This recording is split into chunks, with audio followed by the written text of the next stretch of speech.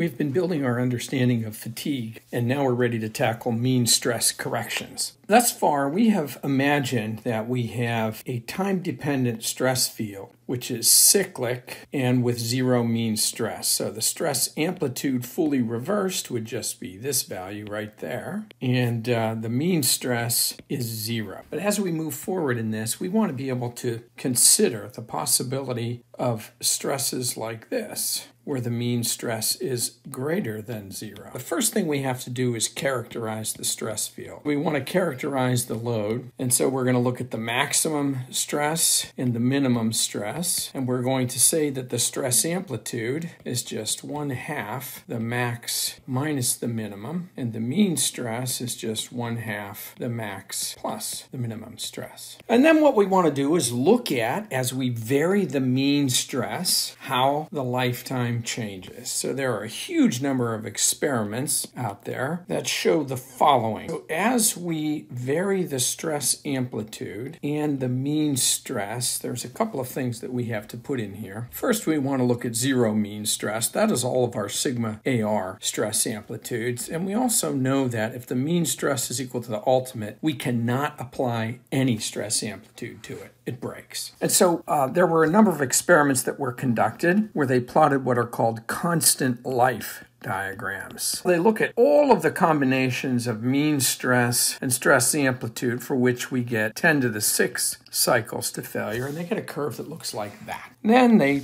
look at, well, what happens if we increase the stress amplitude so that we get 10 to the 5th cycles to failure? We get a curve that looks like so. They have to converge when the mean stress is equal to the ultimate. And then if we look at 10 to the 4th cycles, for instance, we would get something like this. So the number of cycles to failure being 10 to the fourth. And that may look a little bit odd, but what you do is for each of these cases, you identify the fully reversed stress amplitude associated with them, and you divide all of those stress amplitudes by the fully reversed stress amplitude. So we take this plot and we transform it into a normalized plot where plot the stress amplitude divided by the fully reversed stress amplitude versus the mean stress divided by the ultimate tensile strength. And if you do that, so if we plot sigma m divided by SUT, we're going to have 1 here. We're still going to have the line where we have zero mean stress. We're going to have sigma A over sigma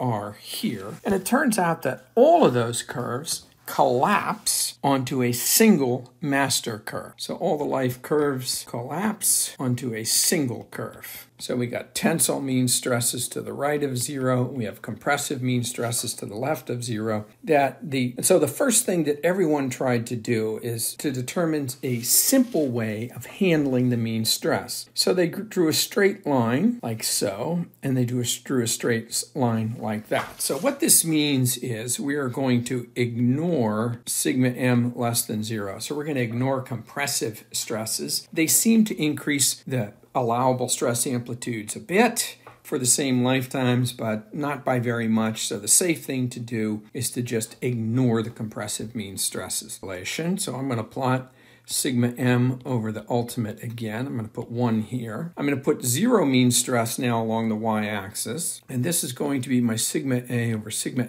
ar. That's going to be 1 there. And so if I write an equation for this, I get that sigma a over sigma ar is equal to 1 minus sigma m over the ultimate tensile strength. So this becomes the equation of this line, and this is called the Goodman equation. So Goodman equation incorporates the mean stress, so Goodman equation allows us to include the effect of tensile mean stresses. So that's just sigma m greater than zero.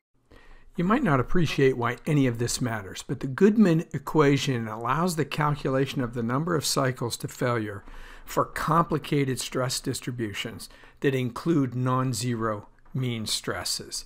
How do we do that? We look at the fully reversed stress amplitude in Basquin's law, where that stress amplitude is related to the number of cycles to failure through these constants A and B. Now, we then look at the Goodman mean stress correction, where we take the stress amplitude, divide it by sigma AR, and we know that the equation that describes this is 1 minus the mean stress over the ultimate tensile strength. So if I take that sigma AR to the other side of the equation, I get this right here. So in effect, what I have done is related a stress amplitude with a non-zero mean to a fully reversed stress amplitude.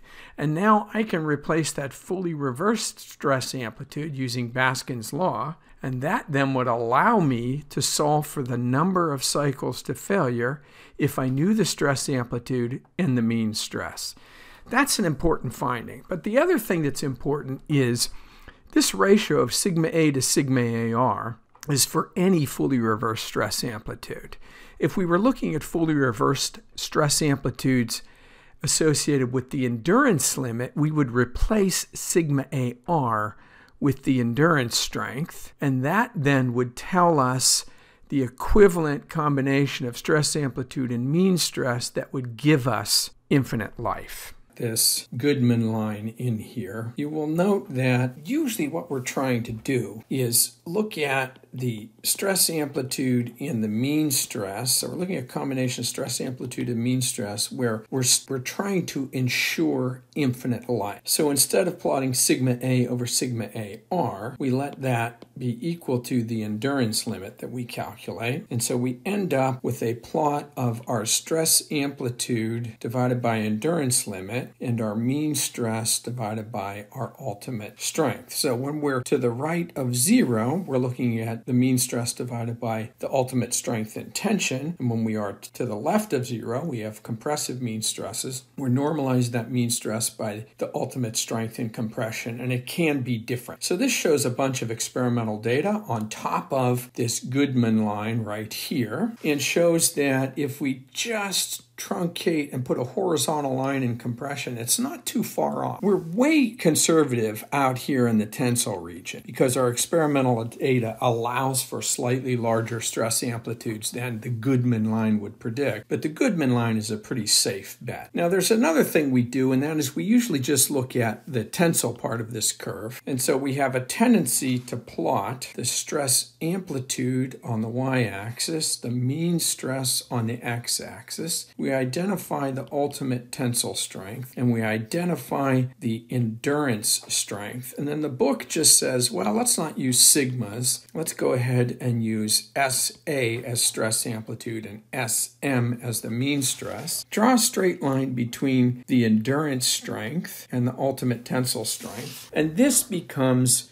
the Goodman line? Well, you'll note that we said that a lot of the data lies above the Goodman line. And so there was a huge amount of effort that went into modifying these mean stress correction factors. And so there is a correction factor where Gerber introduced a parabola. I should draw that in a different color. So Gerber introduced a parabola, so it becomes the Gerber mean stress correction factor, which is a little bit different than the Goodman, which is a simple straight line. The other thing is people started to think, well, why don't we also, why don't we include the yield strength? Remember, the endurance strength has got to be less than the yield strength, and the yield strength is also less than the ultimate. So Langer said, well, why why don't we just draw a simple yield line connecting the yield stress along the amplitude axis to the yield stress along the mean stress axis? That becomes what's called the Langer line. And that checks for yield failure upon the first cycle. Well, the ASME, not to be outdone, decided that they would draw, come up with a simple elliptic equation where they would connect the endurance limit on the stress amplitude axis to the yield strength on the mean stress axis, and they identified what's called the ASME elliptic equation right there, all of which become mean stress correction factors, by the way. So we have the Gerber line, we have the Goodman line, we have the ASME elliptic elliptic. The good one, Goodman, is the one that most people use because it's simple and easy to understand. But there's another one called the Soderberg line, which goes in here. It connects the endurance limit to the yield strength. Soderberg, I guess not to be outdone by anyone else, said I can come up with something even more conservative. And so there are different factors of safety that are associated with operating down in a range below any one of these lines. So any pair sigma A, sigma M in here, and the book says SA, SM. If you're below the line, you're going to last forever. You're you're not going to exceed the endurance strength of the material. And so now what you have to do is come up with equations that describe these lines and the factors of safety if you lie somewhere below any one of those lines. So we want to find fatigue factors of safety NF for each of these lines. So the factors of safety lines that are drawn up there, other than the Langer line, are shown in equations 645 through 648. The Soderberg equation, where this n is going to be the factor of safety. The Goodman equation, where that's the factor of safety. The Gerber, where the factor of safety is buried in here, so you'd have to extract it. ASME elliptic, it's buried in here, relatively easy to extract. And then to prevent yield, we go to the yield failure criterion presented by Langer, where we simply add the stress amplitude and the mean stress. We take the yield strength and divide that by the stress amplitude plus mean stress, and that becomes a factor of safety to protect against yield. So whenever you're doing these sorts of problems, you need to identify the maximum stress, the minimum stress, so that you could then calculate the stress amplitude and the mean stress. You need to determine if we have yield, so check yield, use Langer to do that. Then you want to check for infinite life using one of the criteria and find out if your factor of safety for fatigue is greater than or equal to one. If you have infinite life, you don't have to worry anymore. But if you don't have infinite life, you have to calculate the cycles to failure failure. So those are all the steps that we must take, and these are perfectly good steps to take in a spreadsheet program. So what you want to put into your spreadsheets, which you've already sorted out, is entry points so you can enter the maximum and minimum stress that allows you then to calculate the stress amplitude and mean stress. Then you want to check for yield using the Langer criterion, and then you want to calculate your factors of safety. You want to calculate your Goodman factor of safety using this equation right here, where you take your stress amplitude and divide by the endurance limit, add your mean stress divided by the ultimate. 1 over that will give you the factor of safety. You calculate the factor of safety using the Gerber criterion using this equation here. You calculate the factor of safety using ASME elliptic using this equation here. Relatively straightforward stuff to do and easily implementable in your spreadsheet programs. The last thing that we will have to do, which we'll do, we will do in the next lecture, is we have to account for stress concentration factors. That's important because stress concentration factors drive the local stress magnitude up and will end up being locations where you have to find sigma A and sigma M incorporating SCFs. So the rub is this you know that you can go to